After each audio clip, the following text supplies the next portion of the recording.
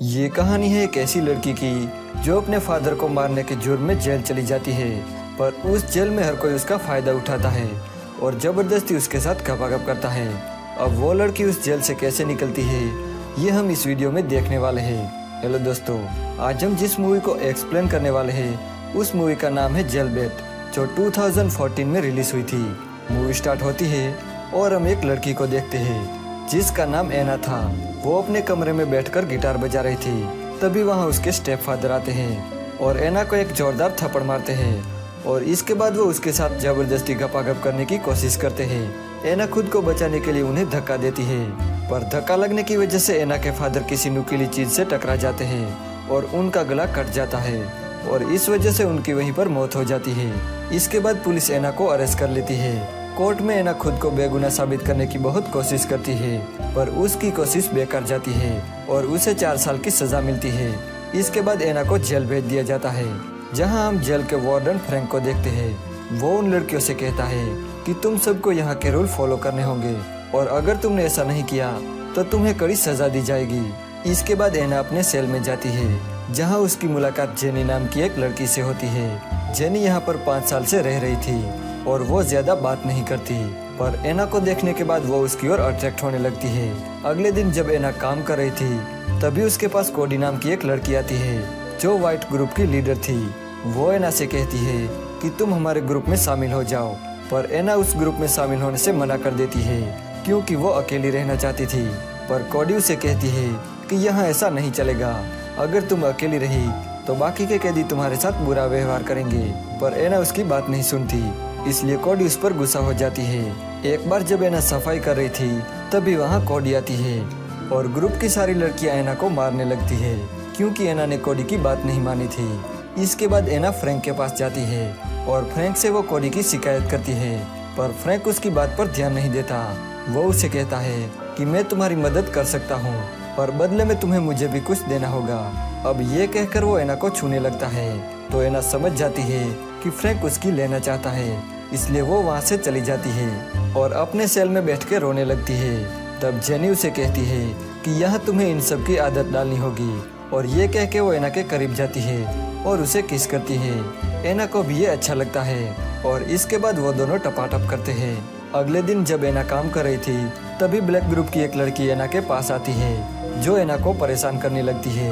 अब एना को समझ आ जाता है कि अगर उसे यहाँ सेफ़ रहना है तो उसे कोई भी एक ग्रुप ज्वाइन करना पड़ेगा। इसीलिए वो कोडी के पास जाती है और उसका ग्रुप ज्वाइन करती है। लंच के बाद कोडियना को अपने सेल में ले जाती है। कोडियना से कहती है कि अगर तुम्हें इस ग्रुप में रहना है तो तुम्हें मारपीट करना सीखना होगा, क्योंकि कमजोरों की इस जेल में कोई जगह नहीं है। अगले दिन एना ब्लैक ग्रुप की एक लड़की से मारपीट करने लगती है, लेकिन तभी वहाँ गार्ड आ जाते हैं और एना को पकड़ के अपने साथ ले जाते हैं। एना ने जेल का रूल तोड़ा था, इसलिए उसे अब सजा मिलने वाली थी। एना के सारे कपड़े उतार कर उसे एक रूम में बंद कर दिया जाता है, जहाँ पर बहुत ठंडी थी। फिर अगले दिन एना को फ्रैंक के पास भेज दिया जाता है, जहाँ पर फ्रैंक एना से कहता है कि अगर तुम्हें ऐसी सजाओं से बचना है तो तुम्हें मुझे खुश करना होगा। तो इस बार एना मान जाती है और फ्रैंक उसके साथ गपागप करता है। एना अब समझ गई थी कि यहाँ रहने के लिए उसे किस तरह से सरवाइव करना है। इसके बाद वो कोडी के पास जाती है और दोनों मिलकर ड्रग्स लेते हैं और इसके बाद वो दोनों खपाखप करते हैं। अगले दिन ब्लैक ग्रुप की एक लड़की एना से बदला लेने आती है, जिसे एना ने पहले मारा था। यहाँ दोनों ग्रुप के बीच फाइट हो जाती है।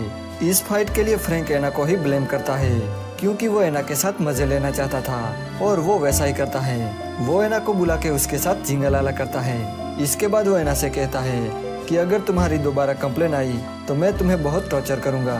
एना अब इन सभी चीज़ों से परेशान हो गई थी, इसलिए वो अब बहुत ज़्यादा नशा करने लगती है।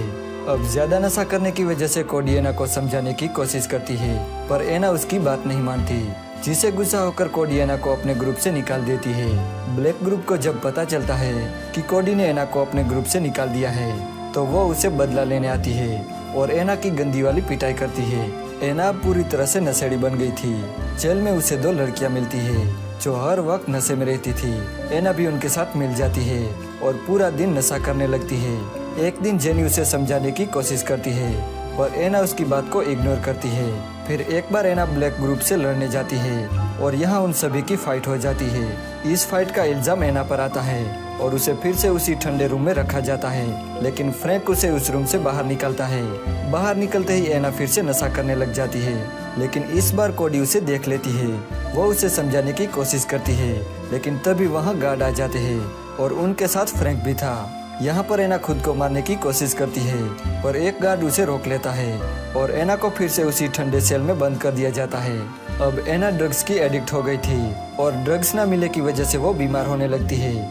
एक बार जब उसे खाना दिया जाता है, तब वो खाने की प्लेट तोड़कर अपने हाथ की नस काट लेती है, पर एक गार्ड उसे देख लेता है और उसकी जान बचा लेता है। एना को अब कई दिनों तक मेडिकल रूम में रखा जाता है, जहाँ पर जेन नाम की नर्स उसका अच्छे से ख्याल रखती है। ठीक होने के बाद एना अपने सेल में जाती है और अपने शोल्डर पर बने ग्रुप के टैटू को मिटा देती है। कोनी को जब ये पता चलता है तो वो उस पर बहुत गुस्सा हो जाती है।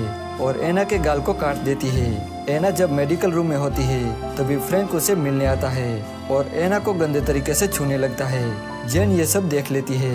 जब फ्रैंक चला जाता है, तब जेन एना से फ्रैंक के बारे में पूछती है। तो एना उसे सब कुछ बता देती है। ये जानने के बाद जेन फ्रैंक के पास जाती है और उसे कहती है कि वो उसकी सच्चाई सबको बता देगी। फ्रैंक को इस बात से गुस्सा आता है और वो जेन को मार देता है। एना को जब पता चलता है कि फ्रैंक ने जेन को मार दिया है तो उसे बहुत दुख होता है। अगले दिन फिर से फ्रैंक एना के साथ गपागप करता है। एना अब फ्रैंक से परेशान हो गई थी, इसलिए वो हेल्प के लिए कोडी के पास जाती है और कोडी को फ्रैंक के बारे में सब कुछ बता देती है।